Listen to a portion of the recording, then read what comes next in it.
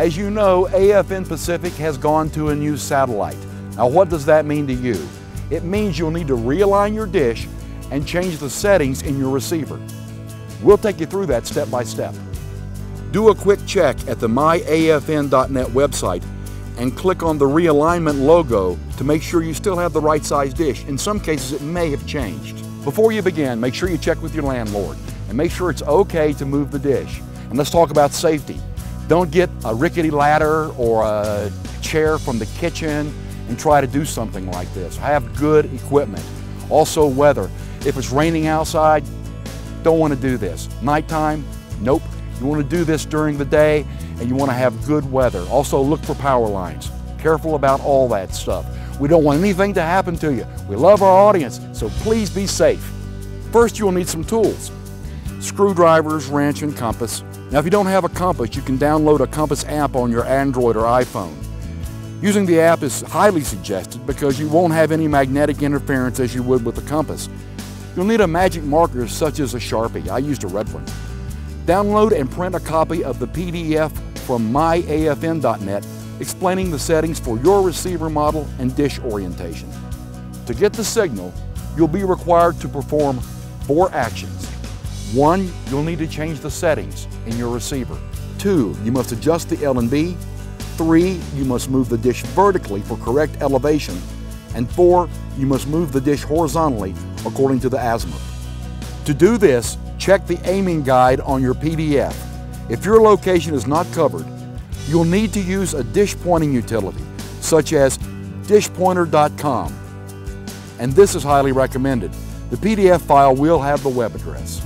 Before we actually move the dish, there's something important that we must do, and that is to mark the position of all the components that are going to move.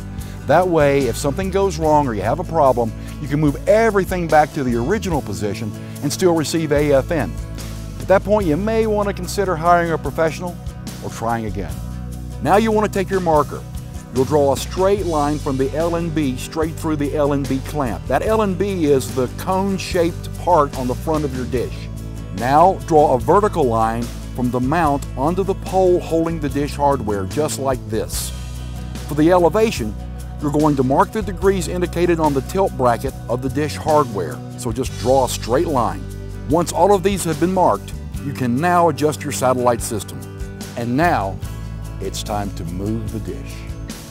The directions from the PDF or the website will tell you to turn the LNB either clockwise or counterclockwise. That's why you have to be facing the right direction, and that is away from the dish as I am now. Then you'll make the adjustment to the correct numerical value. Next, you'll adjust the elevation. Now this is the vertical movement. On the side of the mount holding the dish to the pole, you'll see numbers indicating degrees of elevation.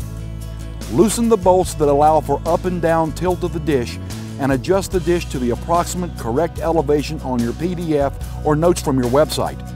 Retighten the bolts just enough to hold the dish in place. You may need to slightly move it later for fine-tuning the dish. Now we're going to move the dish horizontally. We're going to use the azimuth that was given to us on the PDF or on the website. If you're not familiar with how to use a compass, you can find a tutorial online. Same thing for your app on your phone. So we're going to stand either directly in front of or behind the satellite dish and pole. From this point, we're going to take the number that we're given, the azimuth, we're going to hold the compass and turn to the azimuth that we were given. And there it is. Now, looking out, you want to find a landmark. It could be a tree, it could be a building, it could be a car, but something that's straight in front of you. And that's how we orient the dish. Now it's time to make the horizontal move to the correct azimuth. Make sure the bolts in the back are loosened so you can turn the dish. Now your helper inside should be on the setup menu.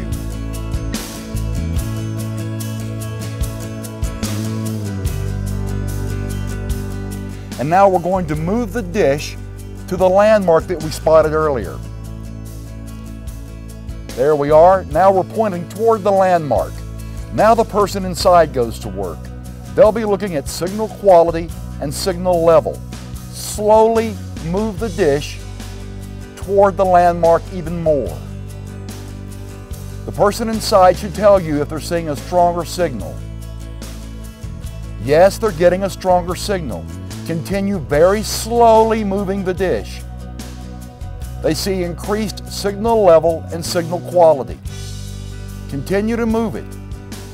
Now the person inside sees decreased signal level and signal quality. So slowly move it back to the position that you were at before, slowly. Now the person inside says that they have maximum signal level and signal quality. Don't worry about making it 100%. Just get it as strong as you can. Okay, we're getting there, right? This is the last move. We're going to adjust the elevation. We're going to fine tune it.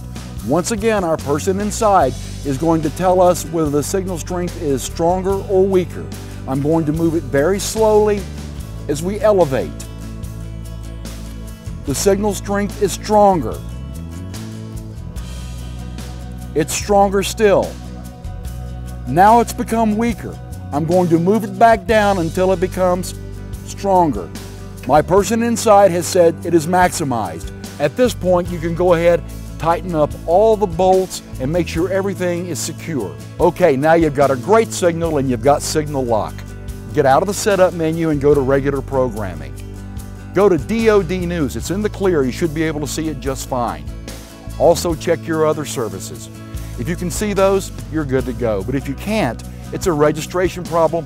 You'll need to call the help desk. That's on the website. But what if there was a problem?